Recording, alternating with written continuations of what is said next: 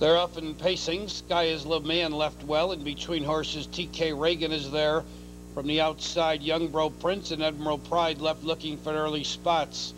Around the far turn the first time on the outside, Emerald Pride takes the lead. TK Reagan racing second.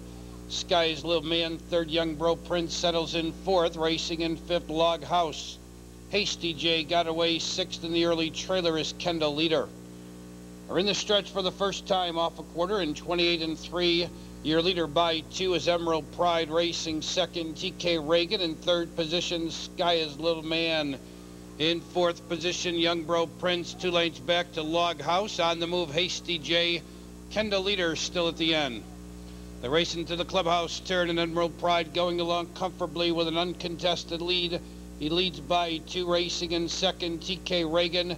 Young Bro Prince is flush to the outside, followed by Sky's Little Man fourth. Hasty J on the outside with cover fifth. Loghouse stays inside, sixth and trailing. Kendall leader 59 and 1, and they're halfway home. On the mid back stretch, Emerald Pride leads on the outside. Young Bro Prince now second. TK Reagan covered up in third. Hasty J on the outside, fourth. Sky's Little Man fifth.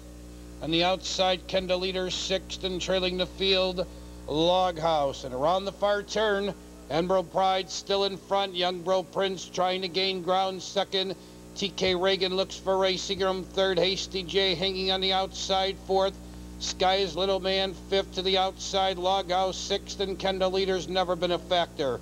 Final eighth of a mile and Young Bro Prince now puts his head in front. Emerald Pride trying to fight back second. Hasty J needs to do a bit more. TK Reagan drives between horses. Your leader is Young Bro Prince. TK Reagan trying to come through. Young Bro Prince holding on tight. Photo for second.